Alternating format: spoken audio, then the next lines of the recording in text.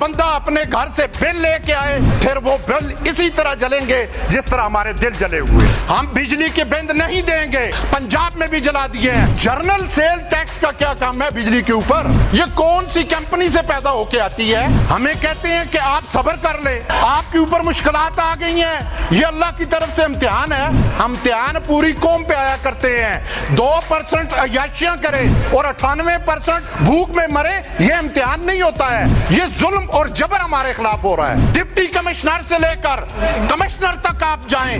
आप न टेलीफोन का बिल देते हैं, न बिजली का बिल देते हैं, न गैस का बिल देते हैं, न मेडिकल अलाउंस आप देते हैं। कौन सी चीज़ आप देते हैं? आपका तो सारा कुछ मुफ़्त है। आप मज़ा तब आएगा कि वही लिटर लेके हम उनको जब मारेंगे कान पकड़ा के, तब मज़ा आएगा। अगर कोई मीटर काटने आए तो हम उनका भरपूर मुआवजा करेंगे।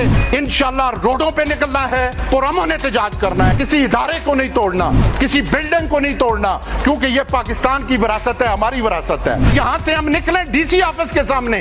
काटो इसकी बिजली कमिश्नर की बिजली भी काटो। खुदा के बाद खुदा ने अवाम को ताकत दी है। गरीब का बच्चा जो है, वो एक नवाले के लिए तरसता है, और अमीर के कुत्ते भी राज करते हैं। हमें बगैर किसी सियासी जमात के, बगैर किसी कौमी लासानी तहसब के, बगैर किसी मसल की तहसब के, आज ये देख लेना है कि ये हम सब का मसला एक हो गया है। और ये मसला पाकिस्तान की आवाम का है और पूरे पाकिस्तान का है। हमारी लड़ाई वडेरे के खिलाफ है सरमादार के खिलाफ है। उनको तो ये सारी चीज़ें मुफ़्त मिल रही हैं। हमें कैसे वो इंसाफ देंगे? मेरा पहला मुतालबा ये है कि ये जो बिल यहाँ पे उलमा भी बैठे हैं, हमें कहते हैं कि आप सबर कर ले, आप शुक्र कर लें, आपके ऊपर मुश्किल आ गई हैं। ये अल्लाह की तरफ़ से इम्तिहान है। इम्तिहान पूरी कौम पे आया करते हैं। दो परसेंट अयाशियाँ करे और अठानवे परसेंट भूख में मरे, ये इम्तिहान नहीं होता है। ये जुल्म और जबर हमारे खिलाफ हो रहा है कि सबसे पहले हमारा मुतालबा इस सरजमीन से ये होना चाहिए कि जो साढ़े पाँच सौ अरब की मुफ़्त बिजली पाकिस्तान के वडेरे सरमायादार, जगीरदार, वडेरे और ब्यूरोक्रेट इस्तेमाल करने ऐसे याशी को खत्म किया जाए। दूसरी बात हमारी ये है कि डिप्टी कमिश्नर से लेकर कमिश्नर तक आप जाएँ।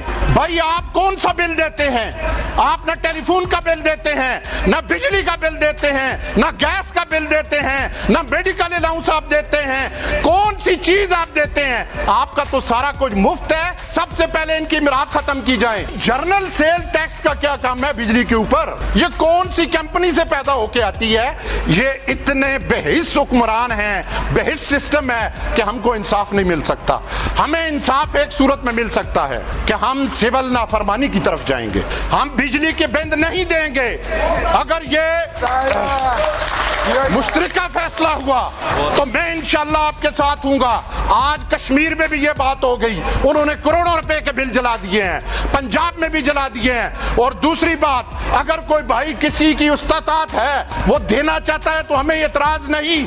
मगर एक बात वापटा वाले याद रख लें। वो भी हमारे मकामी भाई हैं। मैं जमील तनोली साहब से जाके ये बात करूँगा कि अगर हमारा कोई वापटा वाला भाई हमारे किसी जिसके पास खाने को रोटी नहीं, पीने को पानी नहीं, बच्चों की स्कूल की फ़ीस नहीं उस्ताजा के लिए पैसे नहीं, कारी के लिए पैसे नहीं, आटा दो किलो लेके आ रहा है पत्ती से एक चटाकी लेके आ रहा है। अगर उसका मीटर इस इलाके से काटा गया तो हम उनका भरपूर मुआवजा करेंगे और सारे लोग उनके साथ खड़े होंगे। इस एहतजाज को, अल्हम्दुलिल्लाह, आपको मुबारक हो, आगे बढ़ाना चाहिए। मैं यहाँ पे माजरत से ये गुजारिश करूँगा, हमारी मस्जिदें जो हैं, वो दीन का मंबा है।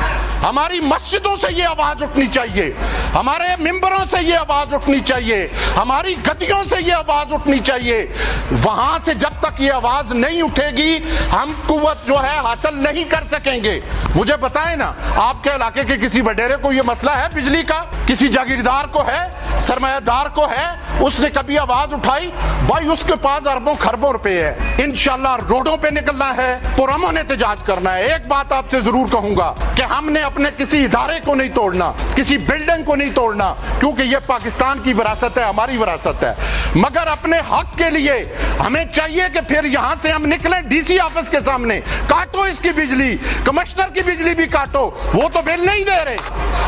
सबसे ज़्यादा रिकवरी हजारा से होती है। सौ फ़ीसद। फिर हमें लोड शेडिंग क्यों? बिजली भी हमारी और लोड शेडिंग भी हमारे ऊपर। भाई जो अटक पार कूड़े डालते हैं, उनकी काटो ना। ये तो सारा खर्चा उनका भी हमसे ही निकालते हैं। जब तक ये आवाज़ हम नहीं बुलंद करेंगे, क्योंकि ये इंटरनेशनल मुहिदे हैं मेरे दोस्तों। ये आगे मजीद हम पे जुल्म होगा। उनका फ़िक्र यह है कि लितर मारने वालों की तादाद बढ़ा दे। आप मज़ा तब आएगा कि वही लितर लेके हम उनको जब मारेंगे, कान पकड़ा के तब मज़ा आएगा। अगर कोई मीटर काटने आए तो इनशाला हम आपके साथ होंगे। हर बंदा अपने घर से बिल लेके आए, फिर वो बिल इसी तरह जलेंगे, जिस तरह हमारे दिल जले हुए हैं। खुदा के बाद खुदा ने अवाम को ताकत दी है। और कुरान में अल्लाह ने यह बात वाजह तौर पे कही कि मैं उस कौम की हालत कभी नहीं बदलता जो अपनी हालत खुद न बदले। गरीब का बच्चा जो है, वो एक नवाले के लिए तरसता है और अमीर के कुत्ते भी राज करते हैं। ये हमें बगावत करनी पड़ेगी पुरमन तरीके से। अपने मुल्क को भी बचाना है और अपने हकूक भी लेने हैं। ये मैं अपने नौजवानों को कहूँगा कि वो मुनजम हो जाएँ, बुज़ुर्ग हमारी सरपरस्ती करें और खुदा के लिए एक चीज़ ज़रूर करनी है, कीजिएगा कि पार्टियाँ मार्टियाँ मैं भी अपनी छोड़ रहा हूँ, आप भी छोड़ दें। ये पार्टियों मार्टियों का चक्कर जो है, इससे हम निकल आए क्यों? हमने अपने हकूक के लिए लड़ना है और इस वक्त हर पार्टी का आदमी इस असर के नीचे है। हर कौम कबीले का है, हर मसलक का है। लिहाजा हमें ये चीज़ें दूर करके, जो भी नौजवान, मैं इन नौजवानों की क्यादत में एज ए कारकुन इंशाल्लाह काम करूँगा।